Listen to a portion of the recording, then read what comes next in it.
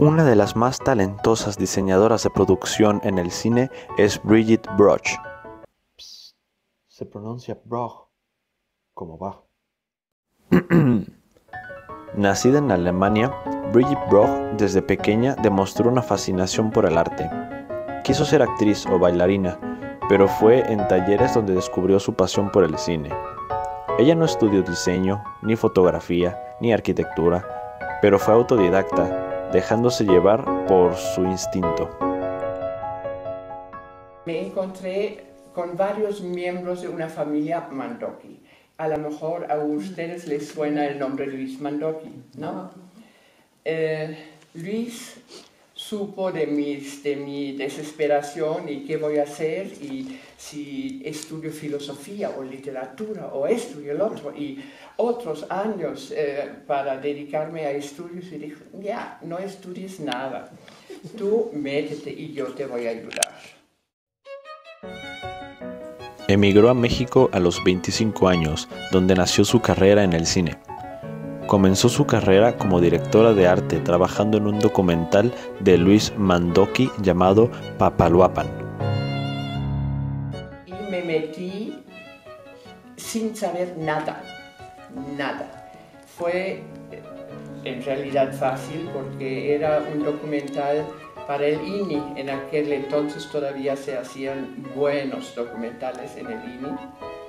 Y Luis eh, Mandoki dirigía un, documental sobre eh, la presa Miguel Alemán en Veracruz. También trabajó en películas como Bandidos de Luis Estrada, Solo con tu pareja de Alfonso Cuarón,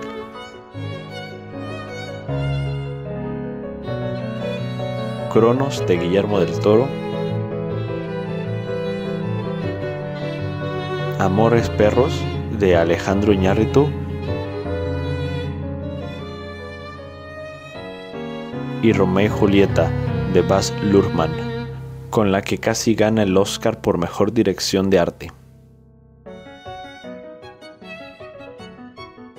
Recuerdo en, esas, en esa primera clase de, de literatura latinoamericana, mi primer libro fue em, Llano en Llamas.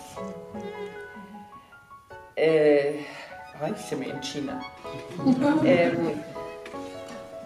tuve que buscar cada segunda palabra en el diccionario. Hoy todavía me acuerdo de la palabra alcantarilla.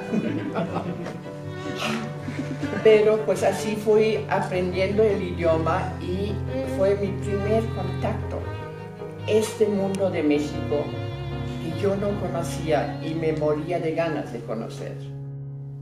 En el 2001, a sus 58 años, fue la diseñadora de producción de la película Moulin Rouge de Baz Luhrmann, con la cual ganó un Oscar a la mejor escenografía.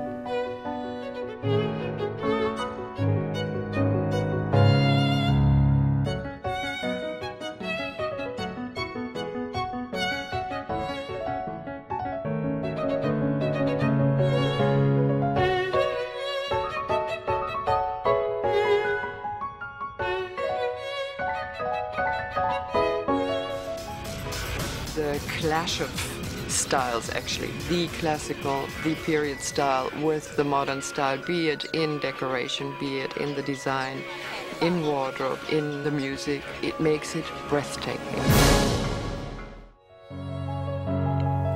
Después siguió trabajando en películas como 21 gramos, Babel, El lector o Beautiful.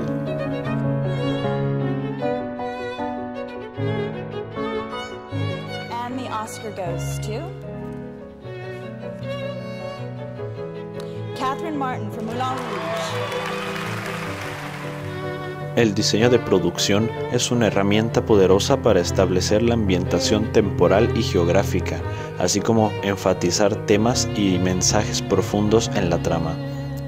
Un diseño de producción bien ejecutado puede realzar la experiencia del espectador y sumergirlo completamente en la historia.